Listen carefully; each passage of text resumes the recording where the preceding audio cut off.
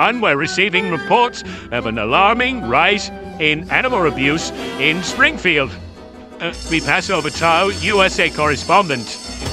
In Springfield, they're eating the dogs, the people that came in. They're eating the cats. They're eating, they're eating the pets of the people that live there.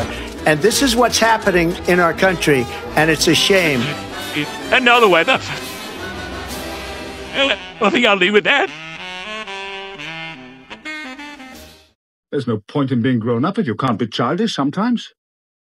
If you have been offended by this video, please feel free to block me.